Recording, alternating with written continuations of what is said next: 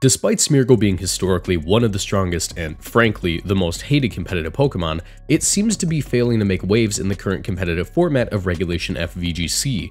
It may have access to nearly every single move in the game, allowing for it to be one of the most flexible support Pokemon in existence, but the conditions in the metagame are taking its toll on its viability. Portland Regionals, the first major tournament of Regulation F, has just concluded, so let's take a look at how Smeargle did and discuss why it's in the situation it's in. If you enjoy this video at any point in time, be sure to leave a like and subscribe because I make tons of competitive Pokemon content. But first, this channel is partnered with GamerSupps. If you want to support my work and get great tasting drinks, you can order GamerSupps through my link in the description down below or with code MoxieBoosted at checkout for 10% off. GamerSupps is a caffeinated product that I recommend only to my 18 plus viewers, but my link will send you to their caffeine-free product section just in case. Every product purchased through my link supports my channel financially, so I'd really appreciate the support. Now back to the video. Okay, we are we are checking out Smeargle. We're gonna be exposing this dude Smeargle is on Fraud Watch today. That's what we're talking about. So yeah, I already said this in the intro. Make sure you do it. Leave a like, subscribe, turn notifications. And yeah, let's let's get into this. So Smeargle is a Pokemon who is historically very good in VGC. I don't know why. I don't know why Smeargle is good. It could be the uh, access to literally every single move in the game. Uh, you know, every single support move too. But I feel like we need to discuss its place in the metagame at the moment. So what caused me to talk about this? Well, for one, um, I, I don't see Smeargle that much. And for two, I saw it at Portland Regionals, but only a few times. So I believe in there's no Smeargle in Top Cut, which is understandable. In day two, there was a total of, I believe, two Smeargles, one on Enrico's team, one on Ryan Hebert's team, and actually, no, there's three. So there's three Smeargles total. Um, however, there are some similarities in the way that the teams function, uh, with the exception of Ryan Hebert's team. Ryan Hebert's team is actually unique as far as Smeargle teams go. Um, but the one pattern I wanted to note before we start is I think that Smeargle is viable um, next to Gholdengo. Golden Go Smeargle, we see it here on uh, Ian McLaughlin's team, and I actually faced this guy. I, I lost to him. Uh, he played super well. But Gholdengo Smeargle is like a really solid lead because Smeargle has access to like Fake Out uh, with Follow Me, Wide Guard, and stuff. Uh, and that allows for the Gholdengo to basically always get up a free Make It Rain. Uh, unless you're facing Urshifu. Urshifu will just annihilate that Smeargle with no regrets. It will just ba ba ba ba ba, break it, sash, and then like OHKO it. Uh, or 3-hit KO it, but with one hit. Uh, one attack. So Gholdengo just gets that up, and then, yeah, you, you get to do that sort of thing. Uh, beyond that, Enrico's team, similar vibe you know, Metal Coat. Uh, actually, I believe they're like the exact same team, right? Yeah. So exact same team. Both made day two. And then Ryan Hebert's team is the exception here. Spore, Fake Out, Follow Me, Decorate. It's like a Trick Room-ish team with Smeargle for Rigorath, Ursaluna Blood Moon. You kind of get the point. You like Decorate through Protect, um, and then you attack with the Life Orb, Ursaluna Blood Moon. So those are like the three teams I saw in Top Cut. But it's weird because Smeargle was a lot more flexible in the past you wouldn't just see it with like, you know, one or two Pokemon. You would see it on like a ton of teams because it was extremely flexible. Uh, the main set that you would have Smeargle run would be Spiky Shield, Fake Out, Spore, Follow Me, that sort of thing. Uh, and of course, you'd run Moody. Now, Moody was nerfed recently, uh, and by recently I mean Gen 7. Uh, before, it would increase any stat, but now it can't increase accuracy or evasion. Uh, and prior to that, uh, Smeargle was able to learn Dark Void. That's like the big Smeargle nerf that like really put it on its like uh, on its like downward trend. Uh, Dark Void was of course uh, the signature move of Darkrai. So if we actually pull up Darkrai here, um, Dark Void, you can see it used to, well now it's 50% accuracy, but it used to be 80 accuracy um, and would hit both opponents. So Smeargle instantly turn one could just put the entire team to sleep. We see that in um, VGC 2016 quite a bit. Like that was a terrifying mon to face off against. And it had a lot of usage because of that fact. I mean, like putting both opponents to sleep instantly. Yeah, no, like that's going to be good. Uh, and with Moody increasing uh, the accuracy and evasion of the Mon, it can make it either harder to hit or it can make it really easy to land those Dark Voids. And after a few turns of Smeargle just existing, it will likely have like plus two speed, plus two accuracy, but even plus one accuracy was enough to basically guarantee everything goes to sleep all the time. Uh, so you have to keep that in mind. It was a very scary Mon. You could argue that Smeargle's um, Smeargle's presence was what led to electric terrain being given as like an ability like Tapu Koko and like Pincurchin and stuff down the road because sleep was just kind of broken. So, you know, Smeargle has a long history of nerfs. I might even make a full video on the history of it, but we'll talk about its uh, presence today. So Smeargle kind of just runs this move set right now. Of course, uh, on the teams that we saw, Spiky Shield was swapped out for Wide Guard, uh, and it does have access to literally every form of Protect in the game, uh, with the exception of, you know, Protects that aren't coded into the game because their only user isn't, because Smeargle has to copy them from someone. But at the moment, Smeargle runs either like Wide Guard or Spiky Shield. Now, a big reason that Smeargle um, might be on the downward trend is because of competition. We'll, we'll talk about like the competition it has in the metagame currently. Uh, big one is Whimsicott, uh, and well, I guess we'll go in order why I consider each of these competition for Smeargle. Uh, for one, Smeargle, its stats are not good. It has 55 HP, 75 speed. Those are the only two acceptable stats in my opinion. 20 attack, 35 defense, 20 special attack, 45 special defense. It's not really living any hits, which is why you max out the HP, uh, max out the speed and give it a focus sash with like a little bit of defense wherever you can throw it. Um, yeah, even though your focus sash, you still want to max out your HP in case it gets broken. You'll give like you'll give it a, a minor chance of living like a resisted hit, you know that sort of thing. Uh, so uh, with that in mind, Smeargle with the 20 attack, 20 special attack, I don't care if you're belly drumming, you're not gonna reach a stat where like you're that threatening with your attack stats. So yeah, it's like a pure support Pokemon. Meanwhile, other like kind of pure support Pokemon do have better bulk, better speed, and even though they don't have access to every single move in the game, they do have like stats to be somewhat threatening offensively. Uh, notably Whimsicott with Moonblast. It has a 95 base power fairy move with stab on it. You know, even though it's only 77 base special attack, you could make the case to run like max special attack, max speed on the Whimsicott, where usually, you know, you kind of see like max HP sometimes, but uh, max special attack is also viable because you can still run your support moves that you want, your Tailwinds, your Encore, your Protect, and still have Moonblast. Like that is it's going to be able to like pick up a KO on like Chien-Pao, like because it's like a stab move. It's super effective. Meanwhile, if Smeargle were to run Moonblast and it hit my Chien-Pao, I wouldn't really mind. I'd be like, oh, that's cool. I'm glad you don't have a better move, like I don't know, Spore or Fake Out or whatever. So yeah, Maushold is also competition for Smeargle in a way because half of Smeargle's kit that it runs usually is going to be redirection. Maushold not only has better stats across the board, um, including speed, and it will run like you know bulk and stuff um, like a, a similar move set or a similar EV spread to Smeargle. But Maushold doesn't have to run the Focus Sash. It can run the Safety Goggles, uh, and it has Friend Guard to decrease the damage uh, that its partners take. So that is actually like really impressive. On top of that, it still has Follow Me. Uh, it still has, you know, Protect if you really, you know, obviously everything has Protect. Uh, but it also has other tools that a Smeargle might run Encore and stuff. But it can even go on the offensive with Population Bomb or like Super Fang. So it's still able to run like a ton of really great support moves. Taunt is also another great one. U-turn's another great one. It, it still has access to a ton of moves.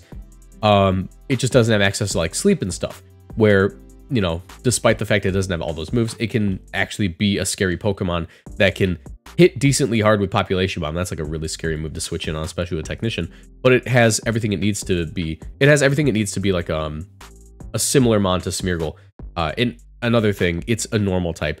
So on those teams that I mentioned with Smeargle, uh, a Maushold could actually fit like a lot of these. It might not have Fake Out and Spore, but next to Gholdengo, historically, Maushold is pretty good. If you were to swap out the Smeargle for the Maushold, well, it might not be able to support the other Mons as well. Uh, the Gholdengo gets much stronger. It's taking reduced damage. Uh, it is a normal type who's immune to ghost moves, obviously, so you can follow me away Shadow Balls from Flutter Mane. Uh, and it'll likely be able to hit more. It'll likely be able to eat more hits than Smeargle itself. Uh, so, you know, keep these things in mind when you're using a Smeargle. There are other Pokemon that could take its place. Uh, another really, really big, like, reason that Smeargle might be falling off is the prevalence of Ogerpon Wellspring, which is not only uh, a Pokemon that you could argue does redirection a lot better than Smeargle, uh, but also is a Spore immune Pokemon. So and also it's a grass type. So it's a grass type with Follow Me. So basically, where Smeargle is a normal type with Follow Me, it can follow me away a Spore once before it goes to sleep. Ogerpon can follow me away a Spore as many times as it wants to, unless it tears, because the grass typing will make it so the Amoonguss Spore or the opposing Smeargle Spore will go into a Mon that just doesn't care. Uh, on top of that, it is, you know, a better redirector, I would say, uh, like as far as like eating hits. So like if Smeargle has to follow me away a Surging Strikes, it goes down. If Ogerpon Wellspring wants to follow me a Surging Strikes, it just does not care. It also has great recovery with Horn Leech. It has this high crit move Ivy Cudgel that turns into a water type, and it also has access to Spiky Shield. So I'm not saying that it's direct competition, but like as far as like when you're choosing a redirector with um, tools that your team might need, the only trade-off you're really making here is Fake Out and Spore, because despite Smeargle having every move in the game, it's 99% of the time going to run the same move set because that is like just sort of the optimal move set that uh, people have figured out. Uh, Farigiraf's another issue. I mean, it blocks Fake Out. It also usually runs Safety Goggles or some like other decent support move. Uh, maybe its partner runs like, or support item. Maybe its partner runs Safety Goggles. Uh, so Farigiraf can block the Fake Out and the partner's just Spore immune. Uh, Tornadus is another Pokemon that absolutely can mess with the Smeargle. Taunt is awful for the Smeargle. Uh, they also have access to Covert Cloak. That's another big thing I didn't even think about before recording. The Covert Cloak makes it so Fake Out isn't as powerful in certain matchups. And yeah, Covert Cloak, Tornadus, Taunt, it just shuts down Smeargle. So Smeargle doesn't get to play the game. While this thing also has access to like the same support moves that a Smeargle might run, you know, Taunt, uh, Tailwind is an option. Uh, Bleak Wind Storm is pretty huge. Yes, Smeargle gets Bleak Wind Storm, but its Bleak Wind Storm is going to tickle you, where this thing can actually take KOs. So, yeah. And of course, Urshifu Rapid Strike, I already mentioned that. So, you might be wondering, why wouldn't Smeargle just adapt to this competition and run different moves? Well, the big thing is, in VGC, we play with open team sheets now. And I'm a fan of that. I'm not complaining. I love open team sheets, especially, you know, because I'm a former Smeargle hater. Now I don't mind it too much because I know what it's going to do. Uh, but Smeargle in closed team sheets could run so many moves. Like, Decorate, I would say Ryan Hebert's team, like Decorate would be a move that in closed team sheet would be so much more valuable if it wasn't telegraphed so hard with the open team sheet. On team preview, you see, you know, follow me, fake out, decorate, and spore, and you go, oh wow, decorate, that's interesting. Um, I have a redirection mon with safety goggles, so I can just like continuously redirect the decorate into me or whatever, or like, oh, I'll just like taunt it and I won't have an issue, or oh, I'll just make sure I KO it before it gets to go for that. Where like in closed team sheets, you can be like, oh, okay, the Smeargle's putting on a lot of pressure with Fake Out and Spore right now. Uh, maybe I should protect this turn and like next turn I can go on the offensive and not have to worry about uh, the possible Fake Out. You know, it's a lot safer. Meanwhile, the Smeargle will just be like, haha, side side target decorate, and then they get their Ursaluna to plus two, and bam, you like lose the next turn. So yeah, open team sheets really, really mess with Smeargle's ability to run different moves. Um, I mean, like ally switch is like a move it could run. Uh, I, am trying to think of like other like decent like options. Uh, baton pass. I remember we even saw like a heart swap Smeargle at Worlds one year. I think that was 2016 or 2015 or something. Uh, but yeah, no, like there's a ton of moves that this thing could run that it just it, coaching's like a big one. Um, it just can't really do it now. Clear Smog would be interesting, but I think you would just run haze usually. But yeah, uh, speaking of moves that Smeargle could run, let's talk about moves that Smeargle cannot run, that it would actually really enjoy if it could in this metagame. Uh, Revival Blessing is a big one. The developers at Game Freak said, oh yeah, uh, you know, Rabsca, um, Pawmot, those two guys, yeah, they get Revival Blessing. Rabsca's not that great. Pawmot is like the best Revival Blessing user we can think of at the moment. It has Fake Out and a decent speed tier and is actually, you know, a pretty hard hitter. But if we gave it to Smeargle, a mon with like a million tools, this one tool would break it. And I'm thinking, no, it wouldn't. I would actually be for Smeargle getting Revival Blessing to give it a minor buff. Actually, that's a pretty major buff. But like, if you really think about it, Smeargle, 99% of the time, would only get use out of Revival Blessing in closed team sheets because what are you dropping to run Revival Blessing? You dropping your Protect? Yeah, probably. Like Wide Guard um, would be like the drop there. So Fake Out, Revival Blessing, Spore, Follow Me. Yeah, but like now you're a sitting duck. If you're targeted into by like a focus sash uh, mon or not focus sash mon. If you're targeted into by like a safety goggles mon uh, who doesn't care about spore you know you go down it's it's over. Like you don't even get to click the move. You get much more value out of a protect or protect clone like wide guard or spiky shield. You actually smeargle almost never ran protect. It would always run like spiky shield because it's just better. Uh, but yeah so that is another big thing other moves it wishes it got lovely kiss this was a really cool tech move that you would see in restricted formats where smeargle is a lot more common um, Lovely Kiss is a move that is exclusive to the Jynx line, I believe.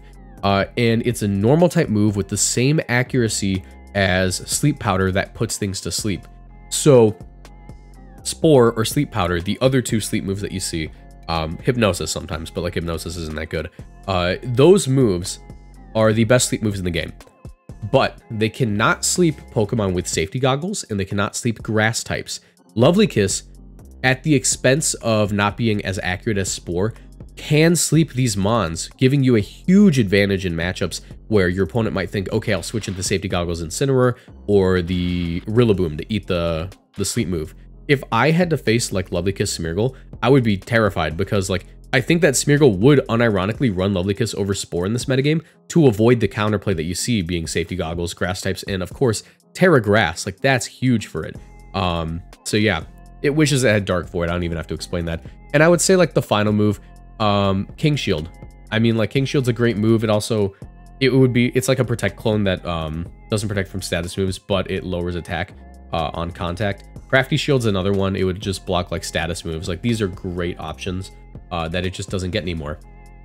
As far as moves that I think we could explore for Smeargle in the current metagame that are minor buffs, um, here are the four that I could really come up with. So Decorate, of course, you know, Ryan Hebert ran it. Uh, shout out to him. He's a cool guy. Uh, but Ryan Hebert, you know, Spore, uh, Follow Me, Fake Out, Decorate. It's a cool move that even works in closed team sheets just because Smeargle does put a lot of pressure with the Spore. Um, you never really know when it wants to go for it. Of course, there are turns where it's just 100% safe. Uh, but yeah, like you have to be careful with that move. Burning Bulwark is another interesting one. Um, I think the main thing keeping this from being super viable is that it doesn't protect from status moves. So spiky shield, if you get like if you get like taunted into, it's like okay, well I, I avoided the taunt that turn. Maybe I can position better uh, and avoid it next turn. Burning bulwark doesn't matter. You get taunted. Um, Urshifu also just hits straight through it. But if you are a Smeargle into a matchup where there's like a Rillaboom the other team, Burning Bulwark is actually a really nice tool because it's like, okay, they need to fake out into the Smeargle Burning Bulwark can just burn them on the fake out and then they're like screwed. Like they don't get to really attack with that mon anymore. It might have, you know, Wood Hammer in grassy terrain, but it still doesn't hit as hard as it wants to at half damage. Uh, another move that's interesting, Dragon Cheer. A lot of Pokemon that learn Dragon Cheer uh, are Dragon types. Like the majority of them, of course, are Dragon types.